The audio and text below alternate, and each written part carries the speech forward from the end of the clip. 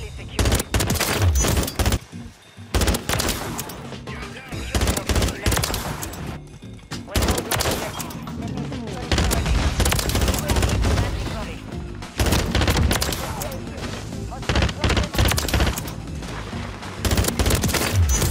Hey guys, it's Kyle again and welcome back to Modern Warfare 3 Season 4. So the critical countdown event is still here. The event's been a thing for a few weeks now. I'm recording this when I only have 3 days left. If you guys are still grinding this, basically you have a bunch of rewards here. Whenever you kill someone or anyone gets killed in game, they drop 4 different types of DNA strands, the blue, orange, yellow and pink. When you collect enough of all these DNA strands you get the final rewards for all the categories. One of them is the exerting control camo for all pink ones. When you do all four, you get the world ender variant for the FAMAS here. This is what we're using today, it looks very good. By the time you guys are seeing this, there's probably like a day or two left of this event, but if for some reason you are still trying to get this, play the small map playlist and prioritize getting these DNA strands over anything. Don't care about getting kills or protecting your KD, just try to collect as many of the DNA strands as possible. And that's pretty much it. And yeah, we're just going to get into some gameplay of this FAMAS variant, and as always guys, if you are new around here, be sure to like and subscribe for more. This is the class I made around the variant. I didn't want to put a magazine on because it affects how it looks. This is a really good variant and I didn't want to change it that much. The only thing I changed was the barrel. Not a massive difference, but pretty much I just put on damage range barrel and I put on high grain rounds. But if you wanted to, you could use a recoil attachment or the recoil barrel. But apart from that, that's pretty much it. These are the perks I was using today. And yeah, guys, enjoy the video.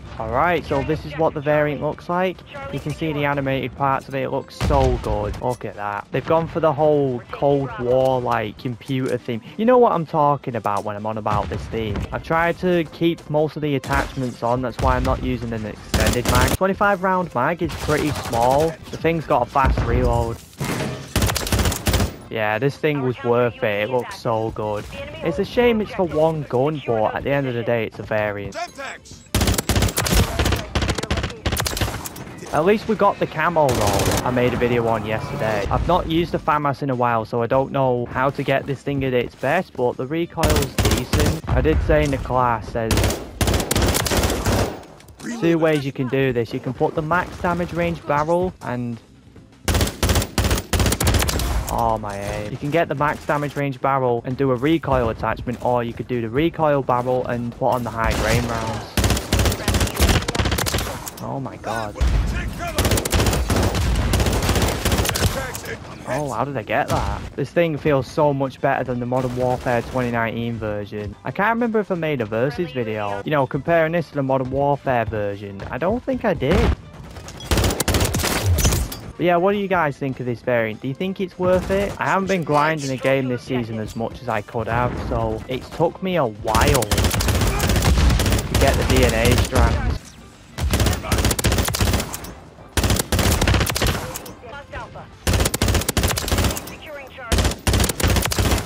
Range on this is a lot better than I thought it was.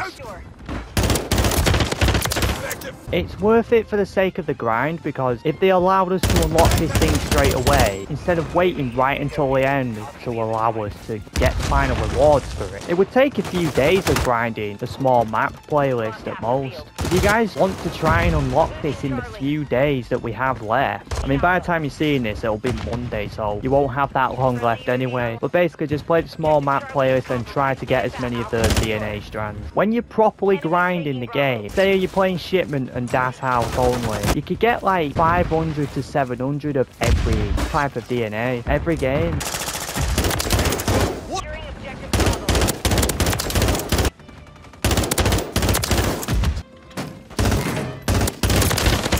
Well, I guess that's it for this event now. I'm covering the Nuka-Cola camo for the Fallout event next.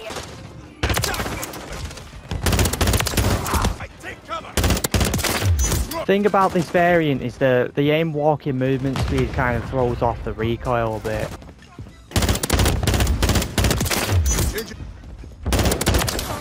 Okay guys, that's it for today's video. Hope you guys enjoyed. Like I always say, if you are new around here, be sure to like and subscribe for more, and I will see you on the next video.